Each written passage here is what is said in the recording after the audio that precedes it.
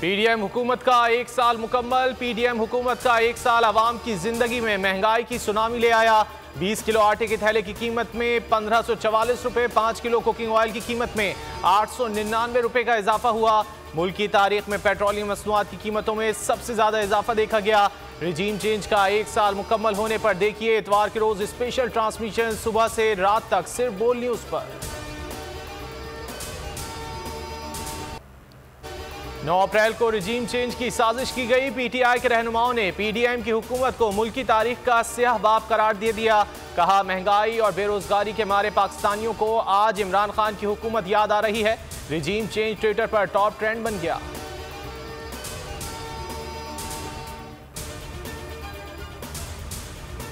गोरों के टोले को मुल्क पर मुसलत किया गया है। वो समझते हैं कि हम इनकी गुलामी करेंगे, लेकिन कौम ये गुलामी कभी कबूल नहीं करेगी। चेयरमैन तहरीक इंसाफ इमरान खान का जमान पार्क में खिताब, कहा, मेरे घर पर हमला करके अली अमीन को गिरफ़्तार किया गया। ये बताने के लिए हम गुलाम हैं। बुजदिल आदमी लीडर नहीं बन सकता, वो नवाज़ शरीफ बन जाता है। हुकूमत की इंतकामी कार्रवाइयाँ नून लीग में फूट पड़ने लगी। खैबर पख्तूनख्वा की सीनियर क्यादत बागी हो गई। क्यादत ने तहफात दूर करने के बजाय पार्टी से फारिग कर दिया।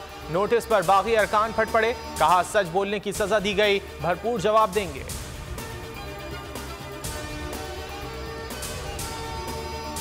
सदर मुमलिकत डॉक्टर आरिफ अलवी का बड़ा कदम। सुप्रीम कोर्ट बिल नजरसानी के लिए वापस कर दिया। बताया, बिल पार्लियामेंट के दायरे अख्तियार से बाहर है। बिल सुप्रीम कोर्ट की आईनी हैसियत से भी मुतसादिम है। आइनी दफात में आम कानून साजी के ज़रिए तरमीम नहीं की जा सकती। आर्टिकल एक सौ इक्यानवे सुप्रीम कोर्ट को कवानीन बनाने का इख्तियार देता है। आइन में छेड़छाड़, अदालत की खुद मुख्तारी में मदाखलत के मुतरद होगी।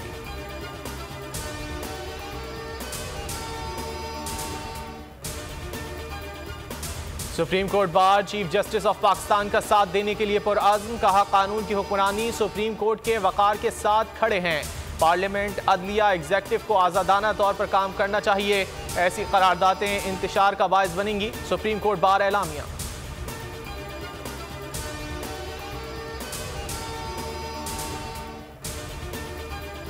हुकूमत की अदलिया पर वार वकला बन गए, सीसा पिलाई दीवार। पार्लियामेंट ने अदलिया के खिलाफ करारदाद क्यों मंजूर की? वकला ने वज़ीर अजम को खत लिख दिया। ये खत जुडिशल एक्टिविज्म पैनल के चेयरमैन अजहर सिद्दीक एडवोकेट की जानब से भेजा गया। खत में कहा गया कि आईन पाकिस्तान के तहत तमाम इदारे सुप्रीम कोर्ट के हुक्म के पाबंद हैं। विफाकी काबीना ने अदलिया मुखालिफ करारदाद मंजूर करके गैर आइनी तरीका अपनाया। इसलिए करारदाद वापस ली जाए।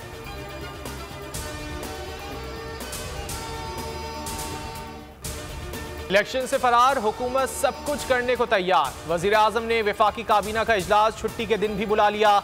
मुल्क की मौजूदा मजमू सूरत हाल पर तबादला ख्याल किया जाएगा। पीर को पार्लियामेंट के मुश्तर इजलास में सदर की जानब से वापस किए गए बिल को मंजूर कराने पर मुशावरत होगी।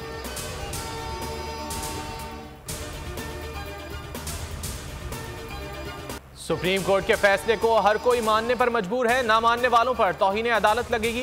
मारूफ कानूनदान एतजाज अहसन की बोलियों से गुफ्तु हसन मुर्तजा ने मिल बैठ कर फैसले करने का मशवरा दिया। हसान खावर ने कहा, मसाइल पर कौमी इतिहाद की ज़रूरत है। जस्टिस काजी फायज ईसा के खिलाफ क्यूरेटिव रिव्यू वापस लेने की दरख्वास्त समात के लिए मुकर चीफ जस्टिस 10 अप्रैल को अपने चेंबर में समाप्त करेंगे। वज़ीर आज़म शहबाज शरीफ ने 30 मार्च को जस्टिस काजी फायज ईसा के खिलाफ क्यूरेटिव रिव्यू रेफरेंस वापस लेने का हुक्म दिया था। सुप्रीम कोर्ट की हिदायत पर इलेक्शन कमीशन को 21 अरब रुपए मिले या नहीं इसहाकडार मामला गोल कर गए। विफाकी वज़ीर और कॉन्फिडेंस ओवर कॉन्फिडेंस कहा आईएमएफ से माहिदा जल्द होगा। तमाम पेशगी शराय पूरी कर दी है। हर अदायगी वक्त पर करेंगे।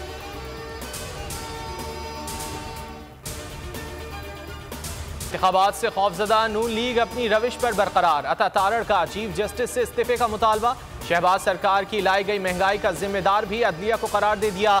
फवाद चौधरी का करारा जवाब, बोले, ये मुतालबे असल मसाइल से तवज्जो हटाने के लिए हैं। पहले मीशत निशाना थी, अब सुप्रीम कोर्ट है। फैंस के साथ सेल्फी का शौक, मरियम नवाज़ को महँगा पड़ गया। बंद सवर कर पोज देती मरियम नवाज़, खातून के साथ खड़ी हुई। लेकिन क्या ये क्या? खातून ने सेल्फी वीडियो बना डाली। पूछा, क्या आप कह सकती हैं, मेरा खानदान चोर है?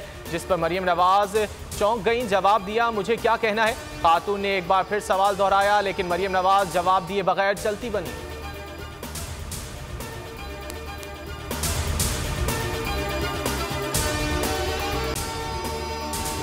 अगर आपको ये वीडियो पसंद आए तो लाइक पर क्लिक करें।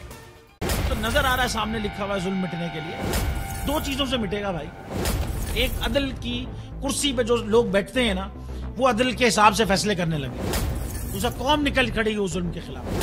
तो जुल्म खत्म हो जाएगा, या इन दोनों में से कोई एक चीज़ हो जाए, या दोनों हो जाए। अगर चार सौ बीसी का मुकदमा था, उस वक्त अदलिया में जो लोग बैठे हुए केस देख रहे थे, वो पूछते ना, यार, चीट हुआ कौन है? जब उनको दिखता कोई चीट नहीं हुआ, केस खत्म कर देते। तो जालिम जुल्म कर ही नहीं पाता। नौ जजेस ने नोट बिफोर किया मेरे केस को, यार, डेढ़ साल चला। शख्सी जमानत का केस। सेम केस इस्लामाबाद में कर दिया। एक एक ही इल्ज़ाम पे दो केस हो नहीं सकते भाई। मतलब साठ दिन का वक्त होता है 102 दिन के बाद मैं जीत गया केस भरी हो गया 102 दिन के बाद अपील फ़ाइल की। एक्सेप्ट कर ली। नहीं करते ना एक्सेप्ट खत्म हो जाता ना जुल्म यार। भरी अदालत में मुझे बरी कर दिया। फिर पता नहीं क्या हुआ, ढाई घंटे बाद का नोट बिफोर मैं नहीं सुनता ये केस खड़े रहते अपने फैसले मिट जाता जुल्म। अल्लाह ताला ने बिठाया इस कुर्सी, इन कुर्सियों पे इनको। यार, ये अल्लाह ताला की तरफ़ से फैसले कर रहे हैं। तो या तो ये फैसले आएँगे, जुल्म मिट जाएगा, या कौम खड़ी हो जाएगी, जुल्म के खिलाफ। सुप्रीम कोर्ट के मंसूर अली शाह साहब जस्टिस एक ऑर्डर पास किया उनकी बेंच और उस ऑर्डर के अंदर उन्होंने बड़ा क्लियर बता दिया कि जी बरीत की जो दरखास्तें हैं, वो कब कब लगेंगी। उसमें से एक वजह उन्होंने बताई कि जी, जब कोई क्राइम ही ना हुआ हो तो बरी कर दें ताकि अदालतों पे बोझ ना रहे केसेस चलते ना रहे। सुप्रीम कोर्ट ये मिसालें कब बनाएगा? ऐसे लोगों के खिलाफ जो इस तरह की एफ़ काट रहे हैं वैसे ऑफिसर्स और ऐसे लोग जो इस तरह के केसेस को जजेस चला रहे हैं। रहमत का महीना आ गया है, बख्शिश का सफीना आ गया होगी मुलाकात। उलमाए दीन से। जो देंगे इतिहाद बैन मसालिकीन का दर्स। ज़िक्र होगा अम्बिया कराम रमज़ान की स्पेशल ट्रांसमिशन रमज़ान में।